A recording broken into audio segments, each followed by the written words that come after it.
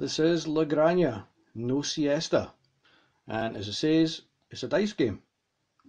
So I'm going to run through this, just a quick solo game. I won't do the whole game uh, because you've really got to kind of work a strategy and think about things, which obviously I'm not good at at the best of times. So let me show you the setup for a solo game. Okay, quick run through of what we've got here. Siesta board is here and you get markers that go on the siesta board. The first person to reach the last um, space triggers the end of game and you calculate your points to see who wins. Uh, this is a kind of market board. You can only get one person in each space. So when each when a space is gone, it's gone. And they get you extra points for various things on your board. Uh, this is your kind of resources board. When you get a resource, you put your marker on there and then you transfer that and you write it on your sheet here. You can get workers to help you and these are the six workers that you can get that can go in these spaces. And we've got dice, roof tiles and markers. This little pad is for marking your scores on. They even give you a whole four. I'm sure they stole these from the bookies. I'm pretty sure of it.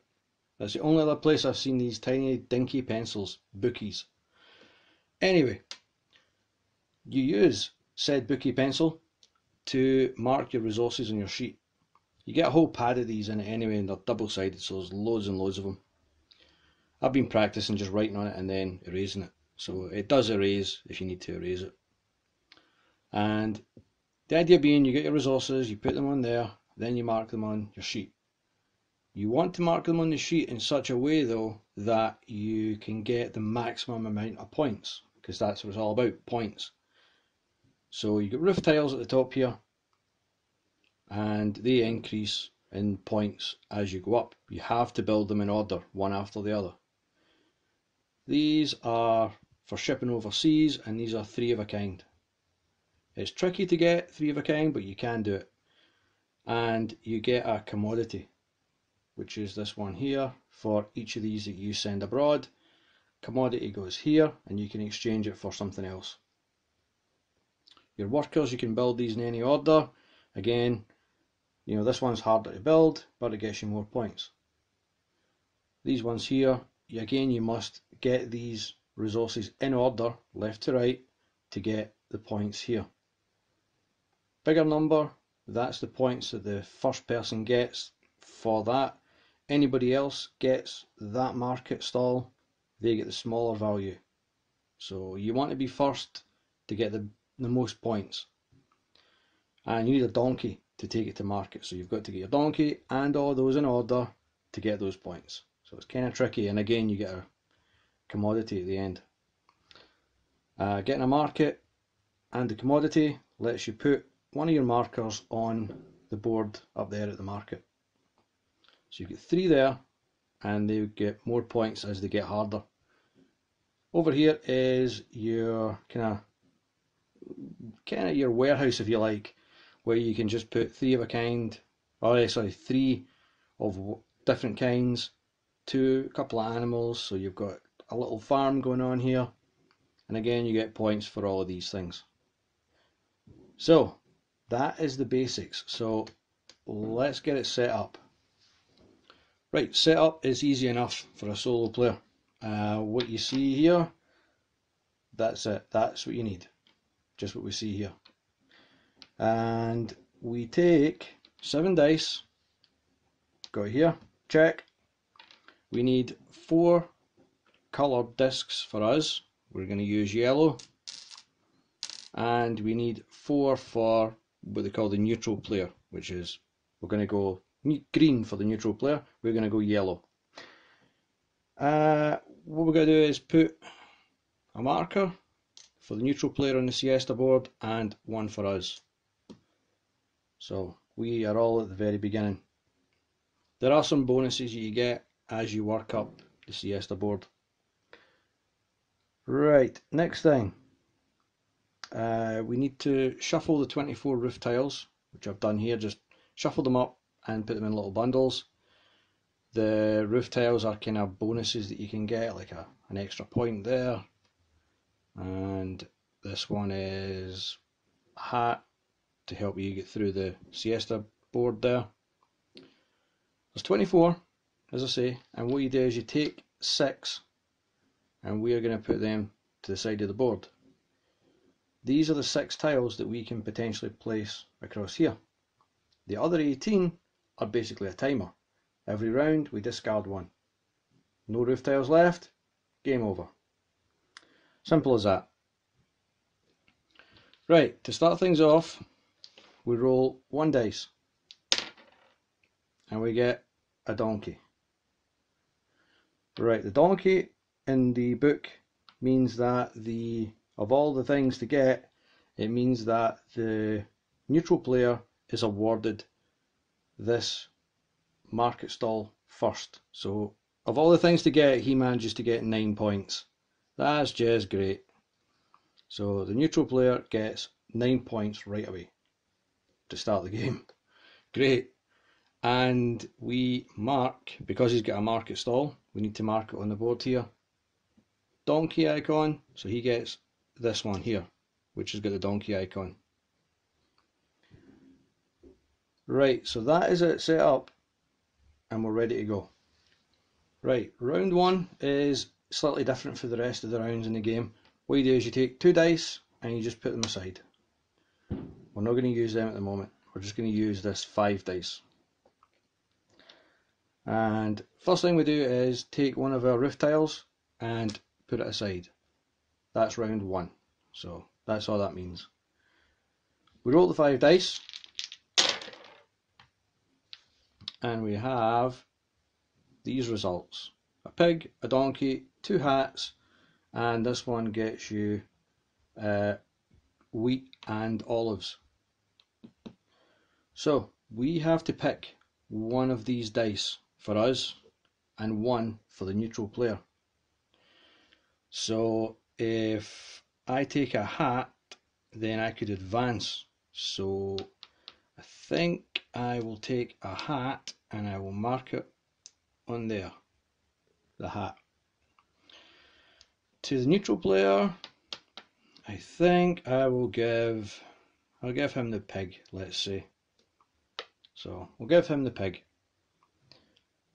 Right, what we do now is we take the three dice that we have left and we roll them again. And I have a hat, a pig and uh, berries. Now, if the neutral player gets a hat, he will not move on the, the siesta board. So I'm going to give him the hat to try and stop him moving. And this is where you've got to use a bit of tactics and stuff. Uh, but I'm going to take, uh, let's see, I'll take the berries. And the last dice, we roll it again, and whatever it is, we keep it. So we keep this one, which is silver. So I have, well, I've forgotten to mark most of them up right enough, but I have the hat, I have the berries, and I have silver. So they're now marked up there. You need to transfer these to here, and this is where you've got to decide what you want to do with these things. The hat, yes, I can use it to advance on the siesta board, but I can also use it here as part of getting a worker. So uh, they do different things, but in this case I'm going to use the hat to advance one. Uh, the coin I will use in building a roof I think, so I'll just scribble that in. And the berry, uh, not a lot I can do with it just now really, but I will put it here in making a worker. So that's that done. Now, neutral AI, his dice go there. Uh, I should have mentioned that actually if he has a hat, he does not move. So he has a hat, so he doesn't move. So that's good. That works in our favour. These two dice now move up to here. And again, this is where we've got to be wary. So the two dice that we took away, they're now going to come into play. And effectively that's the end of uh, round one. That is it for round one. Round two is slightly different and all the other rounds after two are the same as two. Round two. Round two, same idea. We take a roof tile, put it aside, we're in round two, and we take the five dice, again, we give them a roll, and we have two coins, a hat, a donkey, and a pig. So, what will I pick? Now, normally I would think, oh, I'll take a hat because the hat will let me advance. But this is where it gets tricky because if we pick a dice that matches any of his two dice, he will advance. So if I take a hat or a pig, he's going to automatically advance. So I don't really want to take a, a hat or a pig if possible. Um, what I will take, I think, is a coin so that I can get that worker. And I think we'll give him the other coin. So he can have the other coin. Right, and again, same idea. Take the three dice, roll them, see what we get. We have coin, pig, hat. Um, I think I'm going to give him the hat because it will stop him moving. And I think I'll take the other. Oh, do I want the other coin? Um, do I want the other coin or do I want to? I'm going to take the pig because that'll help make this complete. No finally complete, but helps. And the last one, if this came up an olive, it would be perfect. And it comes up another pig. So I have a coin and two pigs. Right, now, do any of our dice match his top dice? No, they don't. We well, sorry, they do. We've got two pigs, unfortunately. Ah, oh, see, this is why you need to think, and I don't. So we have a, a match on one of his two top dice. Not these ones, doesn't matter, it's got to be these top ones. So he advances automatically. Boom. So I can now take them off and those move up. Um, need to mark it up so we get a coin and we get two pigs so I'll put a pig here and we'll say one here just for the hell of it. So that's them marked up. Right, uh, this is now complete. So I can now take one of these and reveal it. It's a donkey. At any point in the scoring, I can cash that in to get a donkey. I'll leave it for just now though. Don't need a donkey, not yet. Not quite yet. Uh, but and, in case you hear things going off in the background, that's fireworks. Uh, but that is it for that round, I believe. Again, he had a hat, so he doesn't move. So all good there. So, yep, that is it for two. Let's move on to round three. Round three. So again, ditch one of those roof tiles. We have five dice oops, we have three hats and two coins. So uh, I guess we'll be taking a coin. we'll take a coin because I don't really want a hat because again it would make him advance. Um, but I do want to give him a hat to stop him advancing. And that's that bit. And we roll the three dice that are left. We have a couple of grains and a donkey. I think I will take one of the grains because that's a double you get both olive and wheat on that one dice so that takes up two, those two. And this one's left for whoever's at the end. Uh, I think we'll give him one as well. And the last dice is a coin. So I have another coin. So, again, uh, do I have any coin, eh, any matches to his top two? Yes, I do, the coins. So, he advances. Damn it. Curse him. Right. So that's that bit done. Do we then have... No, tell a lie, we need to mark these up. I have two coins, so again, I can mark them in there. Gives me another roof. And the olive and the wheat, I could I could use them down here to start filling up this market cart. So we'll do that. That's those two done. And I get another roof tile from here. Ooh, this one you can move two items one space left or right or you can move one item two spaces left or right but not into the hat or the commodity. Not in there. Stops at that line. So that's pretty handy. Uh, let's see. Up score sheets and he has a hat so that would stop him advancing any further so I can take them off and I can move them up. Let's see, what else? Uh, blah, blah, blah, blah, and yeah, that's it. We're pretty much finished for round three. And I should just briefly mention that on this side, I don't know if you'll see it, is the olive, wheat, berries, and the pig and the donkey. So if you get one each of those, that gets you a point, and one each of those gets you a point. So you can start filling these up, these up. It's all very confusing. I never know what to fill up first. It's crazy.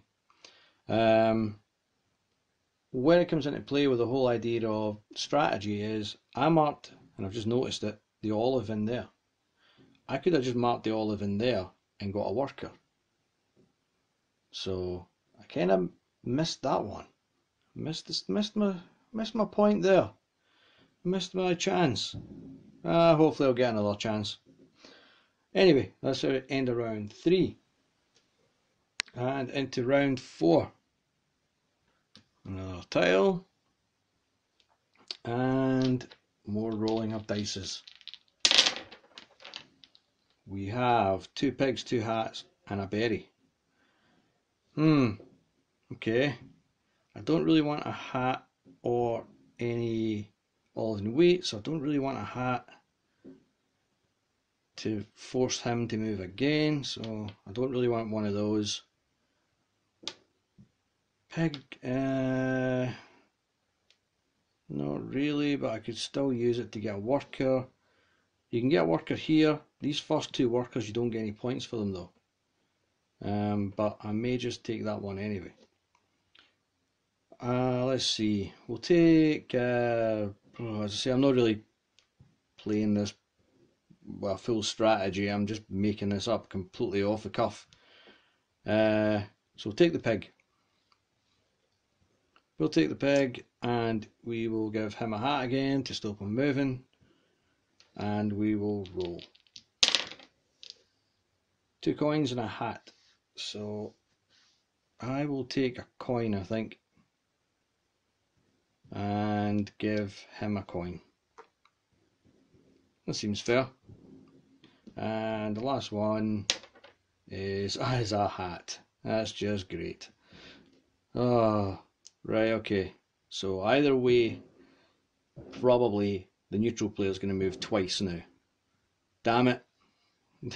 Damn him to hell. Right, so we've done our bits and bobs and we then need to mark it up. So I've got a coin, a pig and a hat. So I'm going to put the pig here, may as well.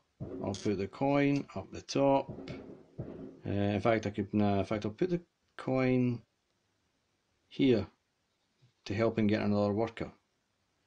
And the hat, uh, yeah, I'll use the hat to move. Now, again, do we have a duplicate? Yes, we do. So he's going to advance. Uh, I should add, in fact, I'll need to remember to come back to this. In fact, I'll do just now. Uh, when you move into this spot here, you see the wee dots and it goes up to the disc with a plus. That means that I now get another disc. So I now have five. Um, neutral player doesn't really matter if he gets extra. Uh, let's see, got that. So I've done a duplicate thing. He has a hat, so he won't move. So that worked out okay. Worked out not too bad in the end. So I've now got five because this is pretty handy.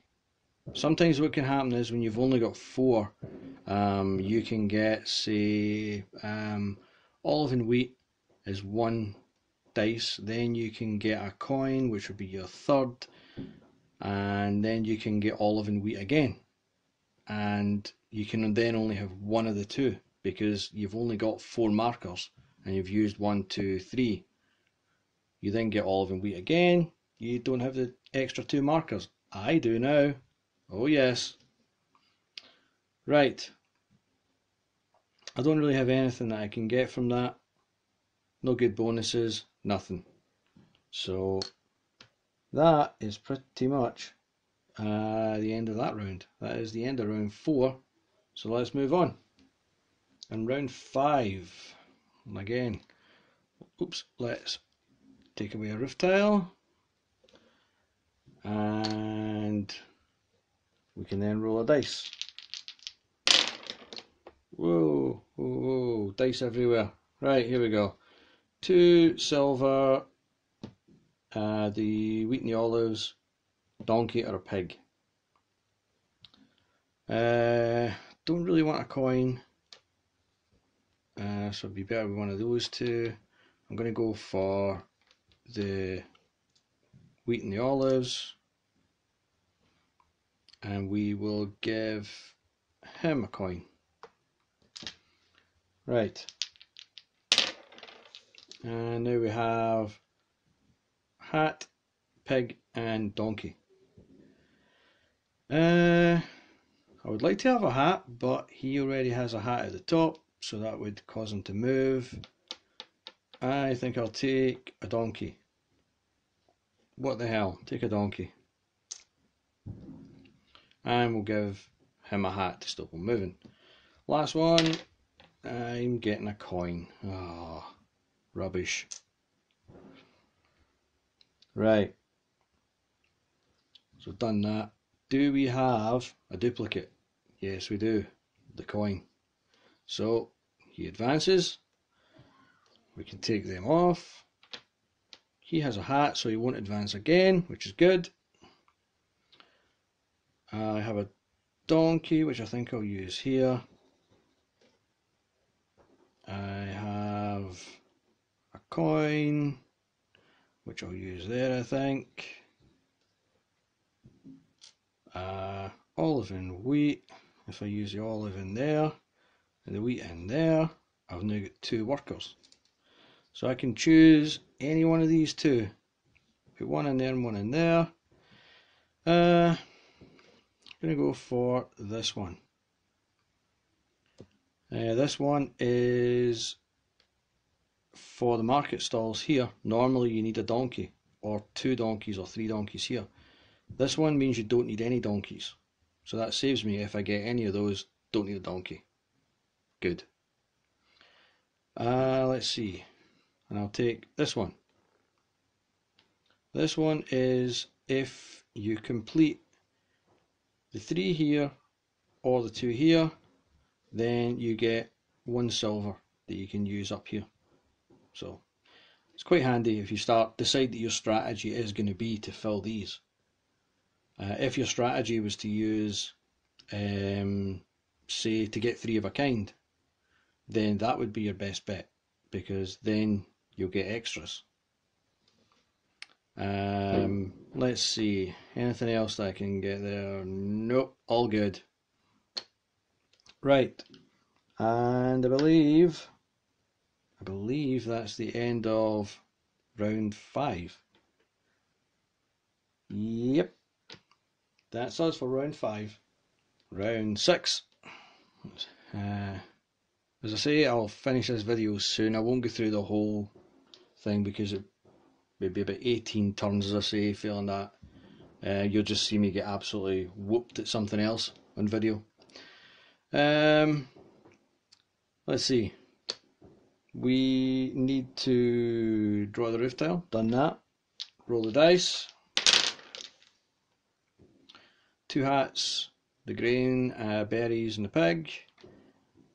Um, I'm going to take the wheat and olives, and he can have a hat. That'll keep him quiet for a bit. And we then have pig, the wheat again, or a hat. Uh, hat would be nice, but it would cause him to move again. Um, I think, hmm, I could take the the wheat again. That might come in handy. Let me see. Yeah, because I can get another two workers with that. I think. Yeah. So we're going to take that again. So we get same idea.